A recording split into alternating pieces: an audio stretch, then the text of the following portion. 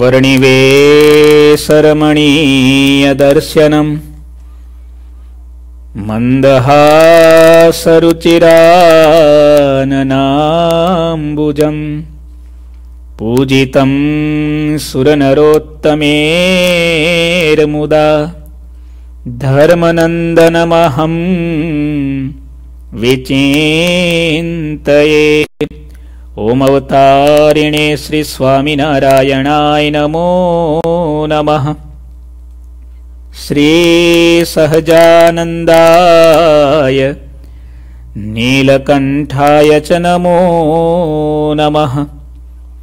श्रीगुरुचरणकमलेभ्यो नमो नमः બોલો શ્રી સ્વામિનારાયણ ભગવાનની. શ્રી હરે કૃષ્ણ મહારાજની જય. શ્રી ઘનશ્યામ મહારાજની જય. કથા સાંભળનારા બધા ભક્તોને ખૂબ પ્રેમથી જય શ્રી સ્વામિનારાયણ.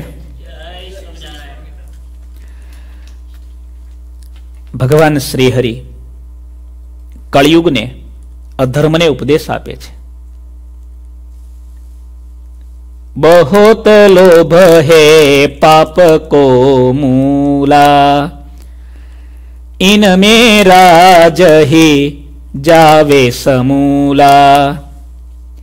સત્સંગ કોના કરના દ્રોહા. એહી મરગના ચલના મોહા. बहुत लोभ है पाप को मूला કળિયુગને કહે છે હે કળિયુગ તું લોભ ન કરતો આ કળિયુગને નથી કહેતા જીવ પ્રાણી માત્રની અંદર બેઠેલા દરેકના કાળજામાં કબજો જમાવીને બેઠેલા કળિયુગને કહે છે લોભ ન કરતા જે લોભ કરે છે એનું તો સમૂળું રાજ્ય જતું રહે છે. ગાંઠનું ગોફી ચંદન પણ જાય છે. કાલે આપણે વાત ચાલુ હતી. હવે બહુ વધારે વાત નથી કરવી. પણ ક્યાં ધ્યાન રાખવા જેવું છે. બહુ ખરાબ વસ્તુ છે લોભ. કામ છે એનો સમય છે. એ થોડી વાર માટે માણસના હૃદયમાં હાવી થાય. એનો સમય પૂરો થાય, પછી કામ ઉતરી જાય છે. ક્રોધ છે એનો પણ સમય છે. કોઈ માણસ ટ્વેન્ટી ફોર અવર ક્રોધ કરી ન શકે. જોયો છે કોઈ? ટ્વેન્ટી ફોર અવર માણસ એટલો બધો ગુસ્સામાં, ક્રોધમાં હોય. ઇઝ ઇટ પોસિબલ નથી પોસિબલ ચોવીસ કલાક માણસ ક્રોધમાં ન જીવી શકે, કામમાં ન જીવી શકે. પણ લોભ એવી ખતરનાક વસ્તુ છે ને. સપનામાં પણ મુગેરી લાલ કે હસીન સપના જેવું જ છે પછી. લોભી માણસ સપના જોવે ને તો પણ એવા જ જોવે. ખબર છે ને તમને? પેલો વાણિયો હતો. દુકાન શરૂ કરી. રાત્રે સૂતો. અને રાત્રે પણ દુકાન ચાલુ બોલો.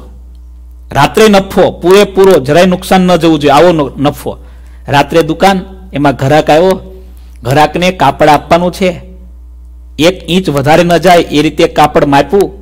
ખબર છે ને કાપડ કેવી રીતે માપે? આ વેપારી લોકો કેવી ચીટિંગ કરે છે લોકો સાથે? તમે જાણતા હશો. ઓછું પડે રીતે કાપડ વાપ્યું અને પેલો આખો ફાડવા ગયો. તે નવી ચાદર જે ઓઢી તેની આખી ફાડી નાખી રાત્રે. લોભ ખરાબ છે.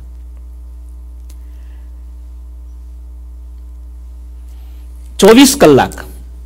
એકવાર માણસના જીવનમાં લોભ આવે, પછી એને કાઢવો ને બહુ અઘરો છે. કોઈ માફ કરજો, કોઈ વાત, પણ શાસ્ત્રમાં લખ્યું, સ્ત્રીના જીવનમાં બે બહુ મોટી ભૂલ છે.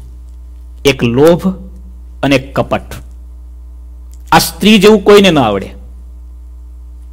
મહાભારતના પ્રસંગના આધારે કહું છું, કોઈ વ્યક્તિ કે જીવબા જેવા કોઈ હોઈ શકે, અપવાદ છે આ બધી વસ્તુ. યશોદા લોભી હતી, ભાગવત કહે છે. ડોંગરેજી મહારાજનું બહુ સરસ ચિંતન કર્યું છે. સ્ત્રીના સ્વભાવમાં લોભ હોય. સહજ. હા, કોઈ જીવુબા જેવા, કોઈ લાડુબા જેવા, રાજબા જેવા, પાંચુબા જેવા, ઉદયપુરના મહારાણી જમકુબાઈ જેવા, આજે પણ એવા કેટલા સ્ત્રી ભક્તો પણ આ એના વધારે પડતો એનો સ્વભાવ છે. એટલે કહેવાય ને, બેંકમાં મૂકો ની પાછું મળે, પણ બેન પાસે મૂકો, પાછું ના મળે. અને કપટ. પોતાનો દીકરો છે, મહાભારતની કથા, કર્ણ. અને આખી જિંદગી કુંતા પોતાના દીકરો છે છતાં એને છુપાવી રાખે અને કર્ણનો વધ થાય અને રાત્રે કુંતા મળે નહીં.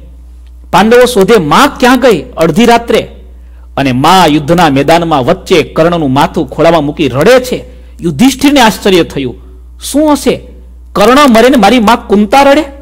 ત્યારે ખબર પડી અને યુધિષ્ઠિરે હાથમાં પાણી લઈને સાપ આપ્યો છે. ખબર છે ને? મહાભારતની કથા છે. દુનિયાની કોઈ માં પોતાના દીકરાને છુપાવી ન શકે. પણ કપટ જ્યારે સ્ત્રી કરે, એના જેવું કોઈ કપટ ન કરી શકે. પુરુષના બે દોષ શાસ્ત્રમાં લખે. એ કહી દો, નકર પુરુષો બધા નિર્ભય થઈ જશે. એ દરરોજ બેનોનો ઉપદેશ આપવાનું ચાલુ કરી દેશે. એટલે તમે વધારે સાવધાન રહેજો પુરુષો. આ કથા તો બધા માટે છે. કોઈને કહેવા માટે, આપણા માટે જ લેવાની છે આપણે. બાકી આ કથાની તકલીફ એ બહુ મોટી તકલીફ. જો બહેનોનું કંઈક કીધું તો બધા જ ઘરમાં ચાલુ કરી દે. સાંભળ્યું? એના માટે નથી. પુરુષના બે સ્વભાવ શાસ્ત્રમાં લખ્યા. અહંકાર. પુરુષ જેવો કાતિલ અહંકાર કોઈનો ન હોય. સ્ત્રી રડી શકે, સ્ત્રી ઝૂકી શકે, સ્ત્રી જતું કરી શકે, પણ પુરુષ જ્યારે જીદમાં ચડે છે ને, પુરુષ જ્યારે અભિમાનમાં ચડે છે ને એ કપાઈ જાય એ વઢાઈ જાય એ મરી જાય, પણ એનો અહંકાર મોળો નથી પડતો. આજે પણ કરોડો રાવણ, આજે પણ કરોડો દુર્યોધન, આખું કુળ ખલાસ થઈ જાય. છતાં એને પેટમાં એમ ન થાય કે હવે હું ઢીલો પડું. પુરુષનો અહંકાર ખરાબ. અને એના કરતા પુરુષનો શંકાશીલ સ્વભાવ ખરાબ. આ શાસ્ત્રોમાં લખેલી વાત. સંશયાત્મા વિનશ્યતી. ઘર ઘર, પરિવાર પરિવાર, શંકાશીલ સ્વભાવને કારણે ખલાસ થઈ ગયા. પુરુષે પોતાના સ્વભાવ વિચારવાની જરૂર છે. સ્ત્રીઓએ પોતાના સ્વભાવ, આ તો જનરલ વાત કરી છે. ઘણીવાર પુરુષો પણ એમાં દાદા ખાચર જેવા હોય, પર્વતભાઈ જેવા હોય. આપણા લોયાધામ પરિવારમાં કેટલા સારા ભક્તો છે. લોભ બહુ ખરાબ છે. એકવાર જીવનમાં આવ્યા પછી ઉતરતો જ નથી. કામ છે ને, આવે છે ને જતો રહે છે. પાછો કામ સમય જાય, અવસ્થા થાય એટલે ઓછો પડે છે. મંદ થાય છે. ક્રોધ પણ ઉંમર થાય એટલે મંદ પડે. પણ લોભ છે ને કેવો છે? તમને દાખલા ક્યારેક આપણે પ્રેક્ટિકલ આવશો ને તો બતાવીશ એક બે ઉપર ક્યારેક. અવસ્થા થાય ને એમ ગુંદાના ઠળિયા જેવો થતો જાય. કઠગુંદીના ઠળિયા જેવો. એવો ઠળિયો થાય. છોકરાને ન આપે. દીકરાને ન આપે. મંદિરમાં તો ક્યાંથી આપે? એક ભાઈ બેઠા બેઠા આમ, હું ટ્રેનમાં નથી વાત કરતો આમ ખાધા કરે, હાથમાંથી બાજુવાળાએ પૂછ્યું, શું ખાવ છો? આ શું કરો છો? તે કે, કેમ? ખારીસિંગ ખાઉં છું. અરે ભલા માણસ તારા હાથમાં કંઈ નથી, ખારીસિંગ નથી તું શેની ખાઈ છે. તો કે મનથી ખાઉં છું, દિલથી ખાઉં છું. આને વધારે મજા પડી. ભાઈ, તારે દિલથી જ ખાવું છે, મનથી જ ખાવું છે. તો ખારીસિંગ શું કામ, કાજુ બદામ ખાને? ત્યારે પેલો શું બોલ્યો, ખબર? પોહાય તો ને. હવે કાજુ બદામ મનથી ખાવા જેને પોહાતા ન હોય એ બીજાને ખવડાવે ખરો? પરસેવો છૂટી જાય, લોભી માણસને તમે જોયા નથી. અજયભાઈ લોભીની રસોઈ લીધી છે ને અમે? હજી યાદ આવે બાપ રે બાપ. તમે નિષ્કામસન પૂછજો ને અમારે બે ત્રણ દાખલા એવા ભગત, એક બે અમેરિકામાં એક બે ઇન્ડિયામાં. એવા ઈ હામેથી એમ કે, સ્વામી, રસોઈ અમને પરસેવો છૂટી જાય. આની રસોઈ લેશો તો મંદિરનું જતું રહેશે ના કરે અમારે એક મુંબઈમાં ભગત છે અને કઈ અમેરિકામાં ભગત છે. પચીસ ત્રીસ વર્ષથી એનો સત્સંગ આખા સંપ્રદાયમાં પ્રસિદ્ધ છે. આના જેવો લોભી દુનિયામાં કોઈ માણસ નહીં હોય. રસોઈ આપે અમેરિકામાં ભગત. બે ચાર મોટી મોટેલો છે. ઓછા સુખી નહીં. બીએમડબલ્યુ તો નાની કાર, એવી મોટી કારો વાપરનારા. પણ રસોઈ ભગવાન માટે કેવી આપે આપે ને? એવા મીઠા બોલા. એની વાણી ઉપર તો જાણે સરસ્વતી તો જ પૈસા આવે ને. જીભ ઉપર તો સરસ્વતી કોઈ નવા સમય તો ફસાઈ જ જાય એકવાર. આ તો અનુભવી અમે બધા તો કંઈક રસ્તો કરી લઈએ. સ્વામી, આપણી રસોઈ રાખો ને. ઠાકોરજી સંતો આપણો થાળ જમે ને એવું મીઠું બોલે. સારું સારું ભગત, હા? ક્યારે રાખવી છે? કાલ કરી દો આપણી રસોઈ. સારું. કેટલા સ્વામી છે? ત્રણ. ત્રણ સ્વામીના ત્રણ બટેકા. ત્રણ સ્વામીના ત્રણ મરચા. ત્રણ સ્વામીના ત્રણ રીંગણ. લઈને આવે. સીધું મૂકી દે. પછી કે સ્વામી, અમે ઘરમાં ત્રણ જણા છીએ, પ્રસાદી મળશે. સ્વામી ખાય કે પ્રસાદી આપે? મોન્ટુ ભગત ખોટું નથી કે તો સાચું કહું છું આ બધું. તમે અમારી જોડે ફરવા આવ્યા હોય ને, ગઢાળી ના આંબા શેઠ હતા. આ એવી લાંબી કથા છે ને હું કહી દઉં, ચાલો ને હવે. ગઢાળીના આંબા શેઠ હતા. આંબા શેઠ ધામમાં ગયા. બહુ ભક્ત હતા. અતિ સુખી હતા. એના દીકરા ગોવિંદ શેઠ. ગઢાળીમાં મંદિર શરૂ થયું. આનંદાનંદ બ્રહ્મચારી મંદિરનું કામ સંભાળે. એટલે મંદિર થતું એટલે ફાળો થાય ને ફંડ રેઝ કરવું પડે ને? બધા ભક્તો ભેગા થયા, બોલો, શું સેવા કરશો? એટલે બધા ભક્તો કોઈ બે રૂપિયા, કોઈ એક રૂપિયો, કોઈ પાંચ રૂપિયા, એ સમયમાં તો એવી લખાણી, લખણી થતી. આગળ બેઠેલા ગોવિંદ શેઠ એનો છેલ્લે વારો આવ્યો કે, શેઠજી, બોલો, તમે શું કહો છો? સ્વામી, આપણા ત્રણ રૂપિયા લખો. આનંદાનંદ બ્રહ્મચારી અટકી ગયા. અરે અરે,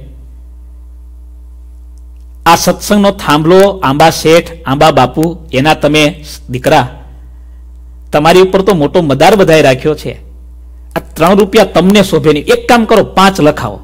કેટલા સાધુ નિર્મળ. બહુ એને ખબર પડી ગઈ, આની કેપેસિટી આટલી જ છે. હવે આને ત્રણસો ન થાય. વાત સાચી ને? હવે એની પાસે ત્રણસો થાય? કેટલા લખાવ્યા? પાંચ લખાવો. શેઠને પરસેવો છૂટી ગયો. આકડા વ્યાકડા થઈ ગયા. નાના સ્વામી એટલા બધા ન થાય. સ્વામીનું દિલ કોચવાઈ ગયું. સ્વામી કઈ બોલ્યા નહીં. આટલું બધું ભગવાને આપ્યું છે. તારા બાપા કેવા ભગત. જીવન ભગવાન માટે સમર્પિત કરી દીધું. અને એના તમે દીકરાને ભગવાન માટે એક રૂપિયો, પાંચ રૂપિયાનો નીકળે? સ્વામીનું હૃદય કોચવાઈ ગયું. અરે રાટી ઉપડી ગઈ. એકવાર તો સ્વામીને એમ થયું કે આને ત્રણ રૂપિયા ન લેવા જોઈએ, પણ સ્વામી લખી નાખ્યા. પાંચ રૂપિયા તો ન લખાવ્યા મને ત્રણ રૂપિયા કઈ નહીં, એટલું તો આપશે. સ્વામીનું હૃદય કોચવાણું. રાત્રે યમુના દૂતો દેખાણા. કાળા ડિબાંગ હાથમાં લાકડી લઈ અને પેલા શેઠને એવી ફટકારી, ધડાક દેને ઊભા થઈ ગયા. આ બધું કેમ આવ્યું છે ખબર છે ને? ભગવાનની કૃપાનું ફળ છે. ભગવાન માટે નથી વાપરતા. રાત્રે શેઠના ઢોટિયા ઢીલા થઈ ગયા. દોડતા દોડતા, ભાગતા ભાગતા એવા આનંદાનંદ બ્રહ્મચારી સુતાતા જગાડ્યા. સ્વામી, તમે કયો એટલા મંડાવું? બોલો, કેટલા મંડાવું? સ્વામી કે, મેં તો કીધું પાંચ મંડાય. નહીં નહીં, સ્વામી, આ આ જમના દૂતો છોડે એવું કરો. સ્વામી કે, પાંચ મંડાઈશ તોય છોડશે. એકસો ને પાંચ મંડાવ્યા ત્યારે જમના દૂતોએ છોડ્યા.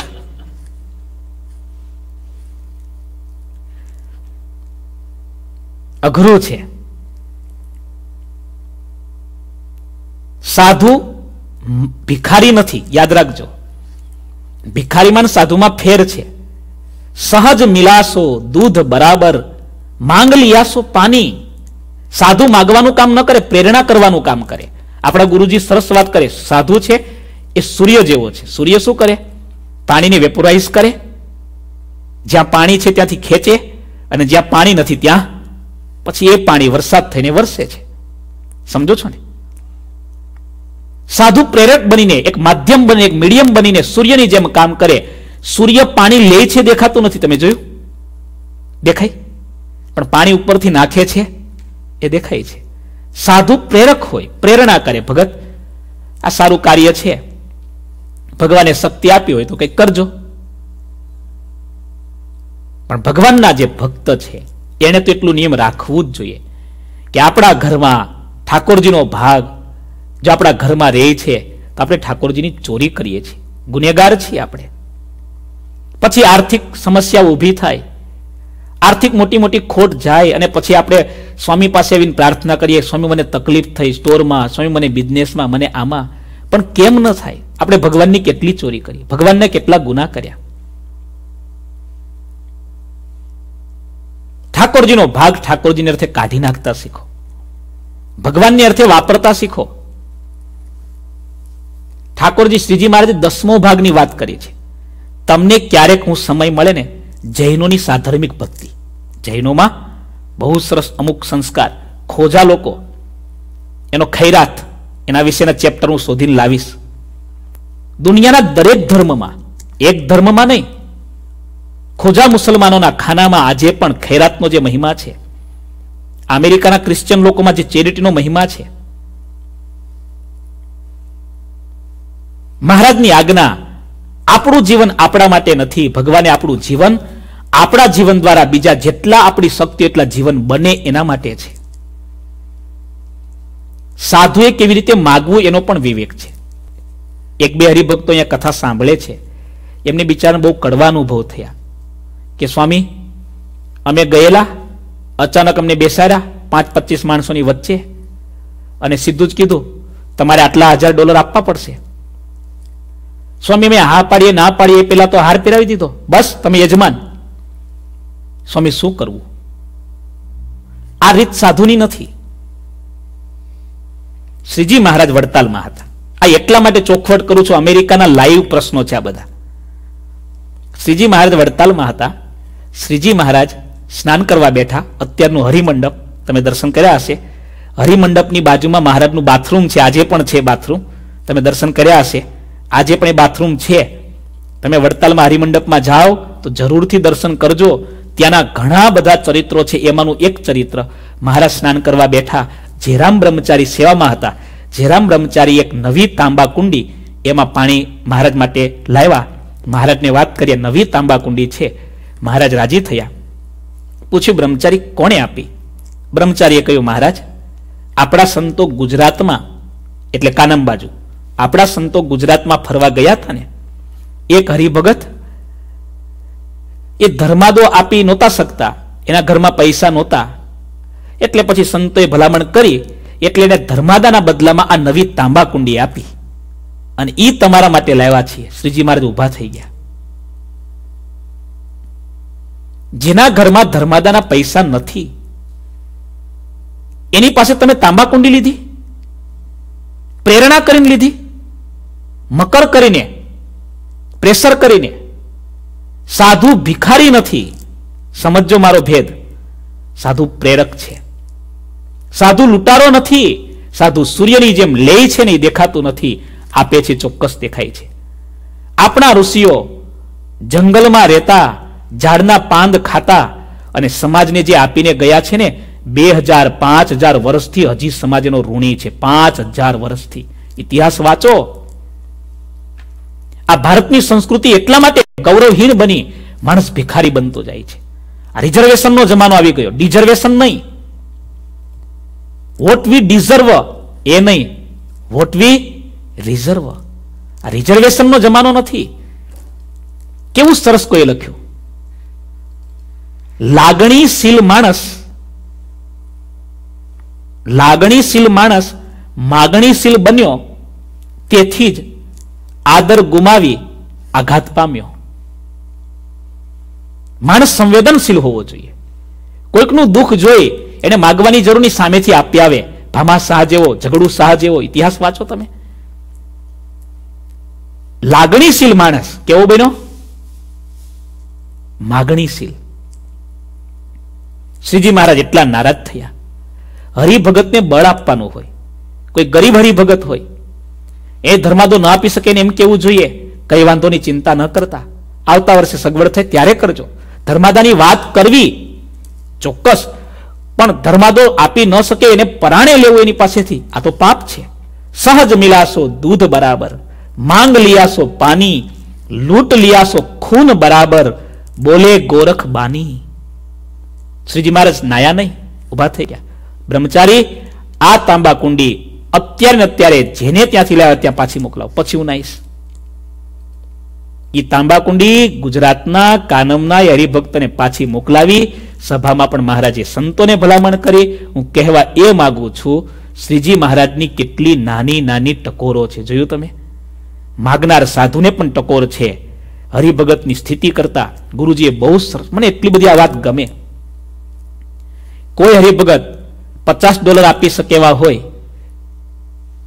અને એની પાસે પાંચસો ડોલરની આશા રાખવી અથવા માગવું, એ પણ પાપ છે. અથવા તો એ હરિભગત પચાસ ડોલર આપી શકે એટલી જ કેપેસિટી છે પાંચસો ડોલર કે પાંચ હજાર ડોલરની સેવા કરે છે, તો એના માટે પણ ભૂલ છે. એની પણ ભૂલ છે. એને દુઃખ આવવાનું. આજે કે કાલે પરિવારનું આગળ પાછળનું છે જ. તમે ઉત્સાહમાં આવીને કરી નાખો છો. તમને આપત્તિ આવવાની ભગવાનની આજ્ઞા લોપી. અને જે પાંચ હજાર આપી શકે એવા છે, એ ખાલી પચાસ હજાર આપે તો એ ભૂલ છે. ઠાકોરજીને તો આમ નહીં તો એમને લેતા આવડે એવું તો કોઈ ના આવડે. ઇન્ડિયામાં હમણાં એક ભાઈને પિસ્તાલીસ લાખનો દવાખાનાનો ખર્ચો. બોલો, હાવ ચણા જેવા હતા અને પિસ્તાલીસ લાખ દવાખાનામાં કેમ ગયા? કેવા કેવા, આપણે જાણીએ છીએ, કેટલા બેટલા સાંભળીએ જ છીએ. કહેવા એ માગું છું. લોભ પાપનો બાપ છે. આપણે સાવધાન રહીએ. લોભ એટલે ખાલી પૈસાની જ વાત નથી, બધી વસ્તુમાં લોભ છે. ધનનો લોભ, પ્રશંસાનો લોભ, પૈસાનો લોભ, પ્રતિષ્ઠાનો લોભ, સમયનો લોભ. આપણને સમય કલાક આપ્યો એ કથા કરવાનું, પછી આપણે ઘણા તો વક્તા એવા માઇકને ચોટી જાય ને એ માઇક લે એટલે નક્કી જ હોય કે આ માઇક છોડશે નહીં. એટલે શ્રોતા એટલી બધી તાળી પાડે તોય છોડે નહીં પછી લાઇટની સ્વિચ ઓફ કરી દેવી પડે માઇક બંધ થાય ને પછી નીચે બેસે આવા દાખલા મેં જોયા છે આ પણ લોભ ખરાબ છે કોઈ પણ વસ્તુ લોભ એટલે જરૂર કરતા વધારે અથવા તમને આપ્યું છે એના કરતા વધારે કેવું લખ્યું भाग्य से ज्यादा और समय से पहले किसी को कुछ भी कभी नहीं मिलता भाग्य से ज्यादा और समय से पहले किसी को कुछ भी कभी नहीं मिलता એટલે સાવધાન થઈએ હજી બહુ સરસ સરસ વાતો છે પણ તમને બધાને આટલામાં સમજાઈ જાય એવી આ બધી વાતો છે ભગવાન શ્રીહરિ કહે છે હવે બીજી વાત જીન સુબડે જો પદવી પાઈ કળિયુગને કહે છે દરેક જીવના કાળજાની અંદર બેઠેલા કળિયુગને અધર્મને કહે છે. જિનસો બડે જો પદવી પાયે તિનકો દ્રોહન કબુ કરાયે. તિનકો દ્રોહ કરત હે જે હું, સો કૃત ઘની જાન નાતે હું, સો કૃત ઘની જાનના તે હું જીન સો બડે જો પદવી પાઈ. જેને આધારે મોટી પદવી મળી હોય, તેનો ક્યારેય દ્રોહ ન કરવો. જો કોઈ તેનો દ્રોહ કરે, તેને કૃતઘ્ની જાણવો. હવે હું કૃતઘ્નની વાત કહું છું. મહાભારતમાં સર્ભાખ્યાનના નામે લખી છે. તે તારા હિતમાં છે. એક કોઈ મોટું વન તેમાં એક ત્રિકાળ જ્ઞાની યોગી રહેતા. ફળ, ફૂલ, મૂળ અને પાંદડા દેશકાળ પ્રમાણે જે મળે તે દિવસમાં એકવાર ખાતા. તે યોગીની સાથે જંગલી પશુઓ પણ અપાર રહેતા. તે બધાનું વર્તન પણ મુનિના જેવું હતું. તે બધાની સાથે કૂતરો પણ ઋષિની સાથે શિષ્ય ભાવે રહેતો. મહાભારતની પ્રસિદ્ધ આ ઘટના છે. શ્રીજી મહારાજ કળયુગને સંભળાવે છે. કૃતઘ્ની ન બનતો. વચનામૃત પ્રથમનું દસમું, સેવક રામનું. મહારાજ એમ કહે, કર્યા કૃત્યને ન જાણે તેને કૃતઘ્નિ કહેવાય. કૃતઘ્નિનું કેટલું મોટું પાપ છે, આપણા શાસ્ત્રોમાં લખ્યું છે.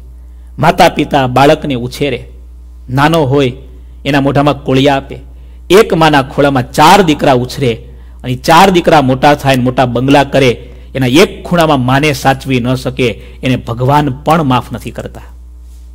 આ કથા સાંભળનારા બધા ભક્તોને પૂછું છું. તમારા માતા પિતા જીવે છે? તમારા માતા પિતા હયાત છે? તમે એને પગે લાગી શકો છો? એના ચરણનો સ્પર્શ કરી શકો છો? પૂછું છું. મને વિશ્વાસ છે લોયાધામ પરિવારના ભક્તો આજે જો કેટલા એક એક ભક્તો ભાગ્યશાળી. મારા અજયભાઈ બાપુજીની કેવી સેવા કરે? જિજ્ઞેશ ભગત બાપુજીની કેવી સેવા કરે? અમારા આશિત ભગત બાપુજીની કેવી સેવા કરે? મુકેશ ભગત, એમનો તો આગળનો ઇતિહાસ, પણ એમના નીલ ભગત કેટલું બધું ધ્યાન રાખે મને ખબર, મુકેશભાઈ, હા? ઘનશ્યામ દાદાનું ધ્યાન અમારા મિનેશ ભગત કેવું રાખે છે? કૃતજ્ઞ છે ને સમાજ. જે માતા પિતા એક ખોળામાં, એક ઝૂંપડામાં ચાર દીકરાને મોટા કરી શકે, એ ચાર દીકરા મોટા બંગલા બનાવીને પણ કેવું ન જોઈએ, આ કડવું સત્ય છે, આ કૃતજ્ઞપણું છે. આ શાસ્ત્રમાં લખેલી કૂતરાની વાત તો જૂની થઈ ગઈ, હવે તો કૂતરા ડાયા થઈ ગયા. આ મહાભારતના કૂતરા તો સારા, રામાયણનો રાવણ તો સારો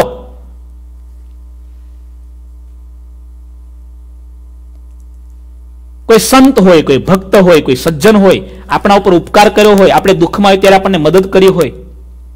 અને પછી આપણે થોડા સુખી થઈએ, થોડા આગળ નીકળી જઈએ અને પછી પેલાનો દ્રોહ કરીએ. મેં સાંભળ્યું છે. આપણા ગુરુજીએ ઘણી વાતો કરી, તમને ખબર હશે કથામાં, હું રિપીટ નથી કરતો. સાસુ અને સસરાની સેવા કરનારા આજના દામાદો દાનવ બનીને માતા પિતાને દુઃખ આપે છે. ત્યારે એની સેવા શું ભગવાન સ્વીકારશે? તમારા માતા પિતા જીવતા હોય, એના પગ પકડી, એનો ચરણ સ્પર્શ કરી અને રાજી કરી લેજો, સેવા કરી લેજો. બાકી તો ઠાકોરજી જાણે જ છે. નિર્ણય કરનારા અલ્ટિમેટ જજ તો એ જ છે. હું નથી.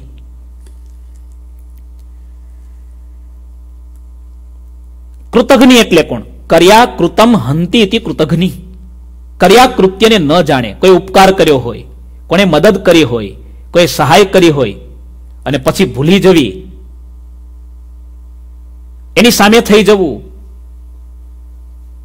એની સામે આપણો સમય આવે, આપણે શક્તિ આવે એટલે ગમે તેમ બોલી દેવું, આ અતિ મોટું પાપ છે. સાંભળો મહારાજ કેવી વાત કરે. કૂતરો હતો, સાધુની સાથે શિષ્ય ભાવે રહેતો, તેની વૃત્તિ તે યોગી મુનિના જેવી હતી. તે કૂતરાને મુનિની સેવા કરવામાં ઘણો સ્નેહ હતો. જેમ મુનિ કહે તેમ તે કરતો. મુનિના વચન બહાર પગ મૂકતો નહીં, કૂતરો. પછી કૂતરા પર ભય આવ્યો. કૂતરા પર ભય આવ્યો એટલે સાધુ દયાળુ હતા, એને દયા આવી. કૂતરાને અનન્ય શિષ્ય જાણી તેના માગ્યા પ્રમાણે ઊંચામાં ઊંચી પદવી આપી. બધા પશુમાં સરભની પદવી ઘણી ઊંચી કહેવાય. આ સરભ નામનું એક પ્રાણી છે, હજી મેં પણ જોયું નથી, પણ એનું શાસ્ત્રમાં ઘણું વર્ણન છે, વચનામૃતમાં પણ વાત આવે છે. સિંહ કરતા પણ બળવાન પ્રાણી હોય છે. મહાદેવજી એકવાર સરભનું રૂપ ધારણ કરેલી એવી કથા પણ શાસ્ત્રોમાં, પુરાણોમાં છે. આ સરભ એને બનાવી દીધો. કોઈનો ભય નહીં. તે કૂતરાને તરત આપી, જેનાથી તે સમાન શક્તિશાળી બીજું કોઈ હતું નહીં. અર્થાત તે કૂતરાને તરત સરભ બનાવી દીધો. પછી તે સરભ અનેક જાતિના પશુઓનું માંસ ખાઈને ઘણો બળવાન થયો. પછી ગુરુજીનું માંસ કેવો હશે? એવી એને જિજ્ઞાસા થઈ અને મુનિને મારવાના મનમાં કોડ કરવા લાગ્યો. ત્યારે મુનિએ તેની આંખો દેખી સમજી ગયા, મને મારવા ચાહે છે? મુનિએ અજાણ્યા રહીને પૂછ્યું, અરે, તું મનમાં શું વિચારે છે? નિષ્કપટ થઈને કહે. ત્યારે સરભે કહ્યું, આપને મારવાનું મને મન થાય છે. આપનું માંસ કેવું હશે? એ મારે ચાખવું છે. સાંભળીને મુનિને, સાંભળીને મુનિએ તેને હતો, તેઓને તેઓ કૂતરો કરી દીધો અને કૃતજ્ઞ જાણીને પોતાના આશ્રમમાંથી બહાર કાઢી મૂક્યો. આ વાતને ધ્યાન દઈને સાંભળો. વચનામૃત સેવકરામનું, પ્રથમનું, દસમું, મહારાજ કે કૃતજ્ઞના સંગનો ત્યાગ કરવો. કારણ કે ઉપકારને, જે બીજાના ઉપકારને ભૂલી જાય છે, તો મારા ઉપકાર પણ ભૂલી જશે. જેણે બે શબ્દ શીખવાડ્યા છે, એ માણસની નિંદા એ આપણી સામે કરતો હોય, અને આપણે રાજી થઈને સાંભળીએ, પણ આપણી ભૂલ છે, આજે એની નિંદા કરે છે, આજે આપણે એને મદદ કરીએ છીએ, પણ આવતીકાલે એ આપણે પણ નિંદા કરવાનો, આપણને પણ વખોડવાનો જ. ઐશ્વર્ય પ્રાપ્ત થાય એટલે મનુષ્યને મદ ગરવા આવે જ. આવી વાત અપાર છે. અને એ વાત પણ ચોક્કસ છે પરમેશ્વરને જ કોઈ વાતનો મદ નથી આવતો. મદ ના આવે એવી વાત હું કહું છું. કોઈ મદ કરે તો અધર્મ આવે છે. તેમ તમે મન કર્મને વચનથી વિચારી લેજો. અપને હાથ નહીં કોવું બાતા ઈશ્વર ધાર્યો ત્યું હો જાતા અરે અપજસ મિલે આપન કો જોઈ જસ મિલે ईश्वर को सोए ईश्वर में अपजस नहीं लेसा इनको कबहु न आवत क्लेशा પાલત ઉપજાત કરત જગનાશા, એસે ઇનકે સેજ તમાશા. કોઈ વાત આપણા હાથમાં નથી. બધું ઈશ્વરનું જ ધાર્યું થાય છે.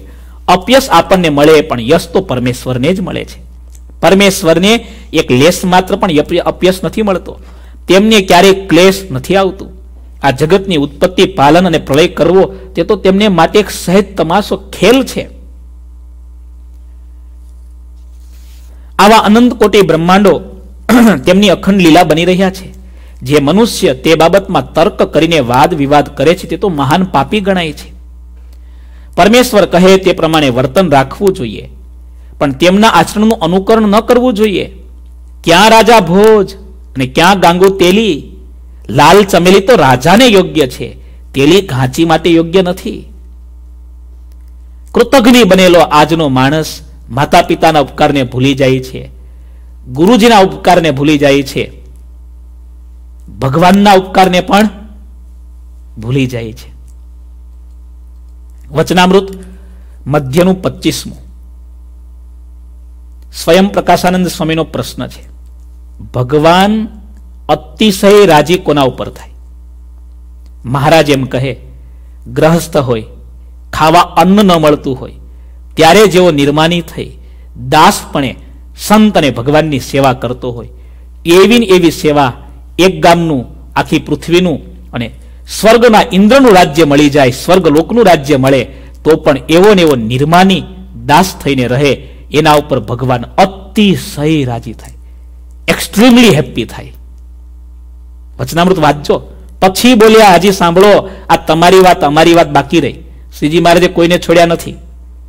સાધુ હોય, સત્સંગમાં આવે, નવો નવો પાર્ષદ હોય, ત્યારે દોડી દોડીને સેવા કરતો હોય. સૌ સંતને શીશ નામતો રે, થઈને દાસનું દાસ આવી રીતે સેવા કરતો હોય.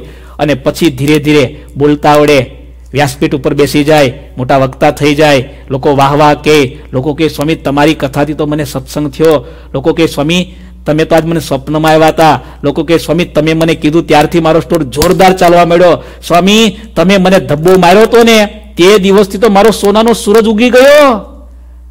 અને આ બધી જે વાતો અને પછી એને પોતાના સદગુરુ પ્રત્યેનો ભાવ વચનામૃતમાં મહારાજ એમ કહે, ત્યાગી હોય, સત્સંગમાં આવે, ત્યારે જેવો નિર્માની થઈને સેવા કરતો હોય, પછી ભગવાન જેવા ગુણ એના આવી જાય.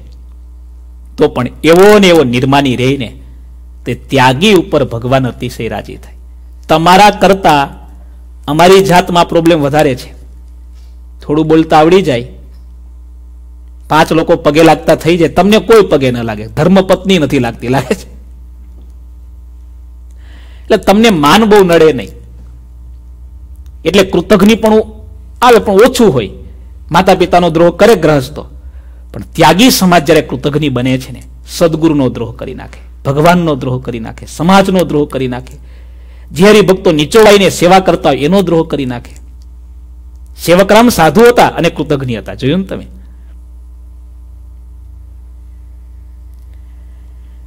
મહારાજ કહે છે, જ્યાં સુધી પરમેશ્વરને આધીન રહે છે, ત્યાં સુધી તેનું ઐશ્વર્ય ટકે છે. શ્રીહરિની આટલી વાત સાંભળીને કળિયુગ અધર્મ પાપીના ઘરમાં જઈને વસ્યો. મહારાજ કે, જા, અધર્મીને ત્યાં જજે. અમારા ભક્તને ત્યાં ન જતો. શ્રી સહજાનંદ સ્વામીએ અનંત જીવોને પોતાને આશ્રય લીધા તેઓ સૌને ધ્યાન કરવા બેસાડ્યા. હૃદયમાં મનની વૃત્તિઓ નિગ્રહ કરી એકાગ્ર કરતા, સ્વામિનારાયણ મંત્રનો જપ કરાવતા અને તે સમયે પોતાના સ્વરૂપના દર્શન કરાવતા તેજસ્વી મુક્તો પાસે રહ્યા હોય. એવી અપાર તેજોમય મૂર્તિના દર્શન કરાવતા અત્યંત તેજોમય તે જગ્યા દેખાતી. અનંત સૂર્ય, ચંદ્રમા, તેના સાલેખામાં તે મહાન સુખમય ધ્યાનમાં બેઠા હોય. ત્યારે તેને ઉઠાડતા પણ ઉઠે નહીં, તેનો વારો પણ આવતો નહીં. ત્યારે તેને ઉઠાડવાને માટે તેનું નામ લઈને બોલાવતા ધ્યાનમાં બેઠેલાના નેત્ર સાથે પોતાના નેત્રની વૃત્તિ જોડીને તેને બહુનામી શ્રીરી ધ્યાનમાંથી જગાડતા, જે ધ્યાનમાંથી ઉઠે તેની પાસે તેણે જે ધ્યાનમાં અનુભવ્યું હોય તેની વાતો કરાવતા, તેઓ એમ કહેતા કે આ શ્રીહરિની મૂર્તિ છે, તે સહુની સીમા છે, સર્વોપરી છે. માંગરોળમાં આવી રીતે મહારાજે સમાધિ પ્રકરણ કર્યું છે. હજી તો ઘણી લાંબી કથા બાકી છે. હવે શ્રીજી મહારાજનો કેવો મહિમા, કેવું ઐશ્વર્ય લોકોએ સમાધિમાં જોયું અને સમાધિમાં એનું વર્ણન કર્યું, એ વાત આપણને આગળની કથામાં સાંભળીશું. બોલો ઘનશ્યામ મહારાજની જય.